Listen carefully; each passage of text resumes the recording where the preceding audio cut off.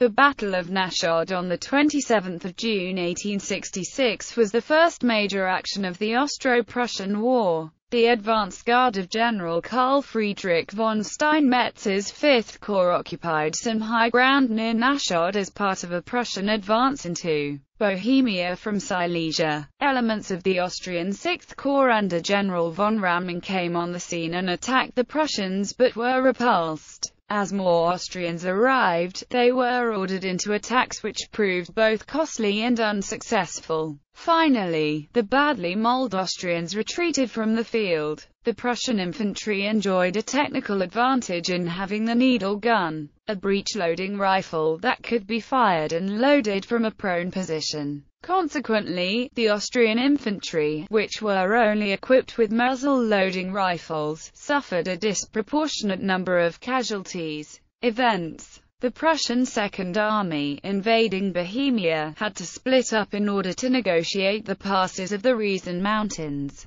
General Karl Friedrich von Steinmetz's Fifth Corps was nearly caught as it emerged from a gully by the village of Nachod, Bohemia. The King's Grenadiers were in the advance guard, and raced forward, first to occupy some woods outside the gully's opening, and then to take possession of the heights above Wenzelsberg. To counter the danger of the Prussians flanking his army, during the evening June 26, Benedek finally decided to send Raming's 6th Corps to Nachod to block the passes. Benedek's orders were only received by Raming at 1.30 am on June 27.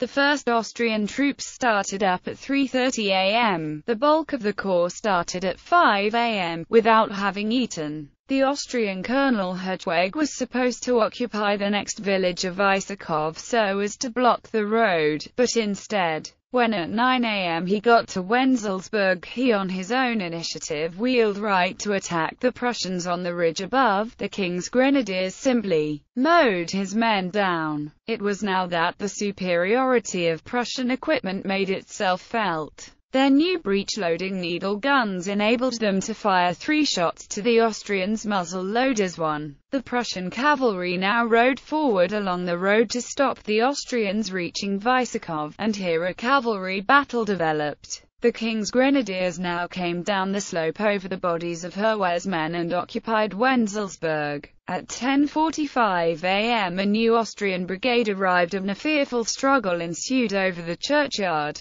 The grenadiers were driven out of it but held on to most of the village for two hours while the rest of the 9th Division arrived. A third Austrian brigade appeared, and this time it had unmistakable orders to take Vysokov. As the famous Viennese Hochhand Deutschmeister regiment, the last fighting vestige of the old Teutonic order, burst into the town. Colonel Louis von Blumenthal arrived at the head of the 52nd Foot on their right flank. Though the fighting continued, the result was now not in doubt.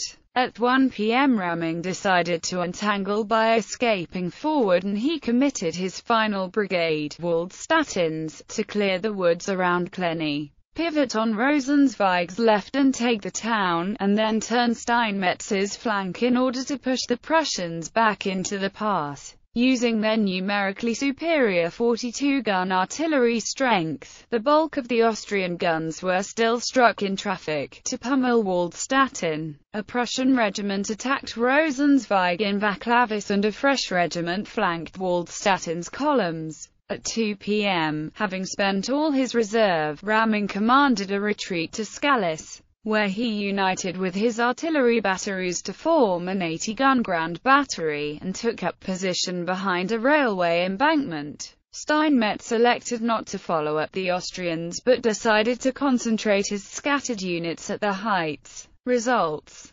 having through muddled staff orders started too late to reach the commanding heights first, the Austrian 6th Corps brigades exhausted from a six-hour march, were committed piecemeal against the Prussians commanding the heights. The Prussian firepower goaded the Austrians into courageous but costly bayonet charges. Their officers lost control, and five and a half thousand men fell to the Prussians' thousand. The news electrified Berlin. Von Steinmetz was hailed as the Lion of Nachod, and Bismarck found for the first time in his life that he was popular. Strategically, Raming's loss meant the Austrians lost control of one of the passes giving entry into Bohemia. It also meant that Gleben's corps was left in the air at Trautenau, and ultimately meant that the Prussian army could advance towards a union with the other Prussian armies. Map http colon slash slash usacac.army.mil slash cac2 slash cgsc slash cull slash download slash capubs slash cane slash maps underscore 41 underscore 60 dot pdf see map 45 courtesy of US Combined Arms Center Literature. Lydia Bastecker, Ivana Ebalova, Nachod, Nachod 2004, ISBN 80 7106 674-5. Wilhelm Maeder, Chronik der Stadt Luen, Luen 1868.